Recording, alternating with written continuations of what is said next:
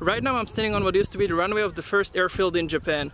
Obviously a lot has changed since an aircraft took off from here for the first time in 1911 and now the runway serves as part of the Tokorozawa Aviation Memorial Park and there is also a Tokorozawa Aviation Museum behind me. Over the next few minutes I'll tell you more about both so keep watching. Before continuing though, subscribe to this channel so that you don't miss any of my future videos and if you like this video please don't forget to hit like at the end of it. Now let's get started. If you're arriving by train, which is by far the easiest way to get here, you will be welcomed by an aircraft before you even step into the park or the museum. In fact, chances are the YS-11 displayed in front of the Kokukoen station will be the highlight of the trip for you.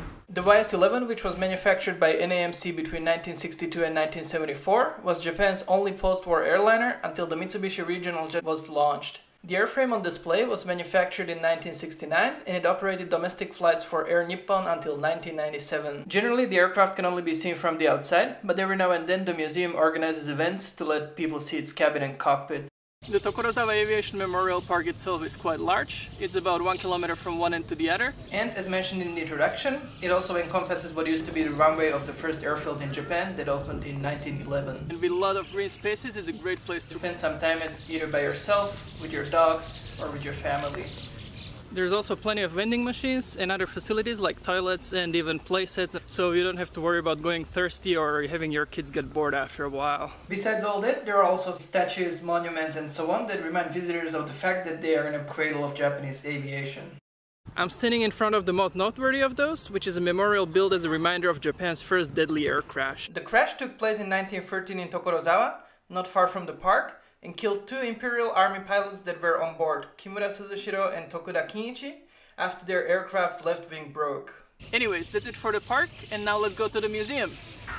Actually, before we go into the museum, there's one more aircraft on display outside, a Curtiss C-46 that used to be operated by the Japan Self-Air Defense Force. The C-46 was manufactured between 1940 and 1945, and more than 3,000 airframes of the type were built. Besides being used as a military transport aircraft with a variety of air forces, the aircraft type also served as an airliner with a number of airlines, including the legendary Pan Am. Now let's really go to the museum. It costs 510 yen for adults and 100 yen for elementary and junior high school children to enter the museum, and the tickets can be bought right at the entrance. The museum is open from 9.30 am until 5 pm every day except for Mondays and the New Year holidays. You can find the detailed calendar of the days the museum is open on its website. I'll be linking to it down below. The one thing you want to be sure about is that you're not going on the days marked on the calendar with the following characters. There's about a dozen aircraft inside the museum. While most of them are on the first floor, there is also some hanging from the ceiling. Luckily, most of the aircraft feature bilingual Japanese and English descriptions, and so you can learn about them even without being able to read Japanese. Just to mention a few aircraft that are on display in the museum, there's a T-6 trainer aircraft, an H-21 tandem rotor helicopter, which is also nicknamed the Flying Banana, and an L-21 trainer. While most of the aircraft you can only see from the outside, some like this Cessna you can also enter and see its cockpit and so on. Besides the actual aircraft, there are also four exhibits which give visitors more details about the physics of flight as well as the history of aviation.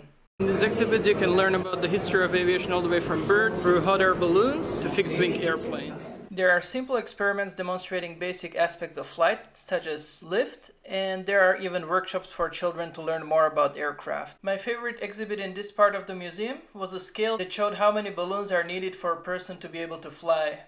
As for the history of aviation, there was a mock-up of the Wright brothers' workshop, where a movie about the very beginnings of flight was shown.